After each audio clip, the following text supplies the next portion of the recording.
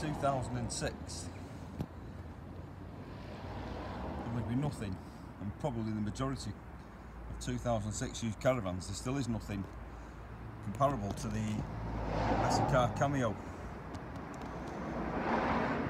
Outside access locker mains point alloy wheels full fit aluminium windows solid one piece door full rear grab handle very nicely designed rear panel as we go inside the Bessacarr we can see we've got the entrance map umbrella stand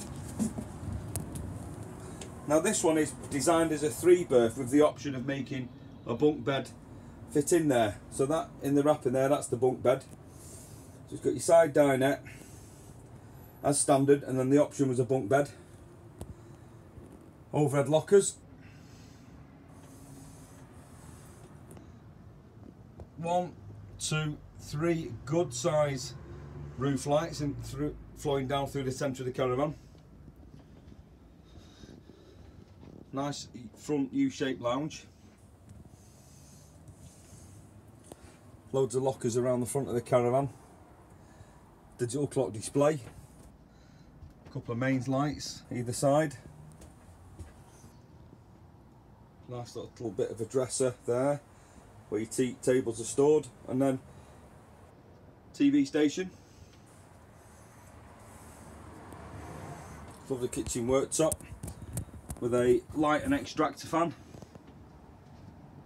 Three burner gas electric hob, and oven. And I'm walking into the bathroom. Got a beautiful sink, mirrors, loads of vanity storage in there. Thetford flushing toilet, plastic lined shower tray, an absolutely beautiful caravan. Very high spec, very modern looking still for 2006 and with a maximum technical permissible laden mass of 1694